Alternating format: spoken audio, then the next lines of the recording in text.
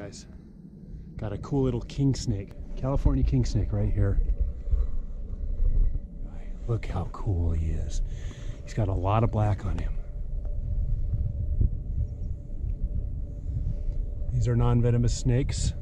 They primarily eat lizards and other snakes.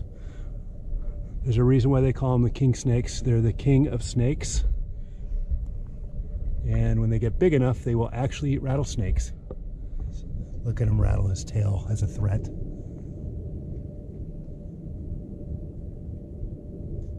Yes, look how tiny he is. He's trying to hide. Come here, little guy. Look at how cool this snake, the snake is. He is so tiny and so little. Um, oh, he's very cold to the touch. He's really cold. Very cool colors. Look at him. Tiny little snakes. And when these, I'm not quite sure what they eat till they get big enough to find other mammals, but uh, or other snakes. They eat other little baby snakes, uh, maybe a few insects. But uh, oh, what a beautiful little snake. Check him out.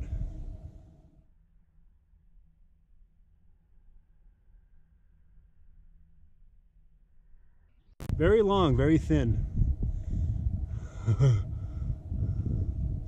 uh, these snakes are kind of bitey. Uh, that's why I'm treadmilling him right now. If I grab a hold of him and keep him from moving, they turn around and bite. Um, very bitey snakes, almost like coach whips.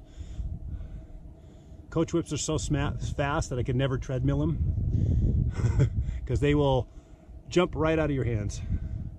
Very cool. Okay, I'm gonna let this guy go. There we go. Happy hunting.